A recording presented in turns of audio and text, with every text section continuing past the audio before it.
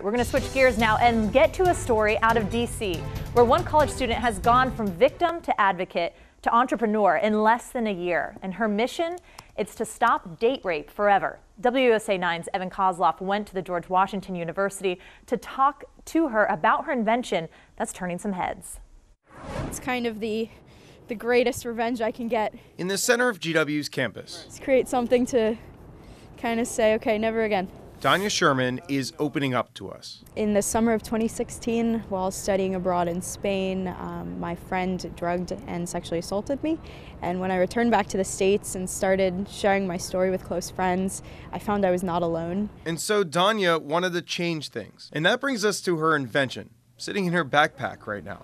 It's called No Nap. Um, they look and act like regular napkins. And here, if you'd like to feel, play with it, Feels like a napkin. feels and acts like a regular napkin. You can crumple it, play with it in your hand. What's the Um, difference, though? The only difference is that all the individual has to do is take a drop of their drink and place it on one of the detection areas on the corner. And if there's drug presence indicated, there'll be a color change next to it. An amazing idea. And even from up close, you can't tell this is any different from a normal napkin. Danya says that's the point. 70% of assaults occur between people that know each other. And that's why we wanted a discreet product so individuals do not have to choose between social comfort and their own welfare. You know, you, you keep smiling. Yes. Why is that?